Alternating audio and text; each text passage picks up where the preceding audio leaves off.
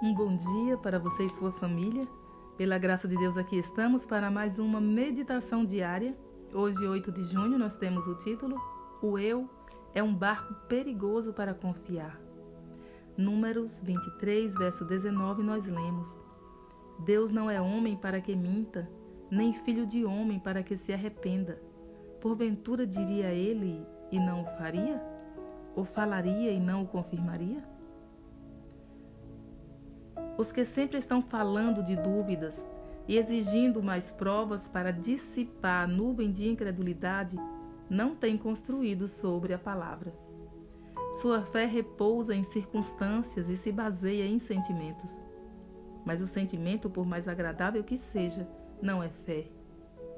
A palavra de Deus é o alicerce sobre o qual nossas esperanças têm de se erguer rumo ao céu.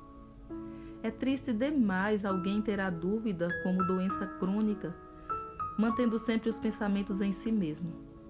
Enquanto contemplar o próprio eu, enquanto este for o tema do pensamento e conversação, você não pode esperar uma conformidade com a imagem de Cristo.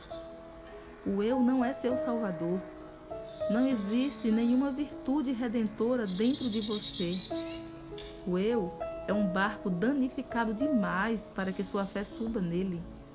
Se confiar nele, com certeza você naufragará. Pule no bote salva-vidas. Essa é a sua única salvação. Jesus é o comandante deste bote e ele jamais perdeu um passageiro. Lance uma única semente de dúvida e estará além do poder humano arrancá-la. Só Deus pode removê-la do coração. Deus nos apresentou o seu grande campo de promessas e por elas devemos alcançar a fé, a esperança e o amor.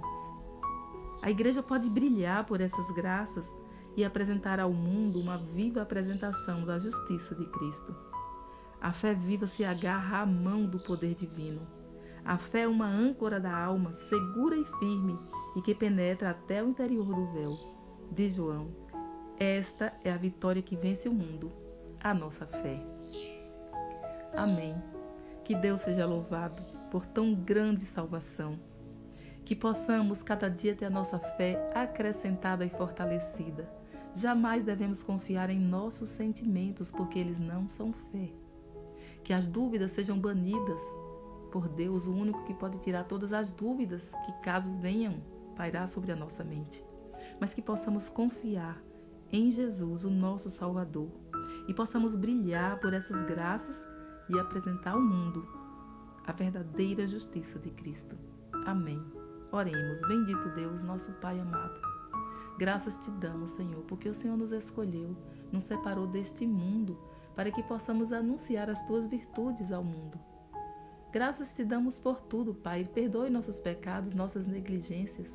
Fortalece a nossa fé, que ela possa crescer cada dia mais, que possamos alcançar a esperança e o amor e brilhar nesse mundo de trevas.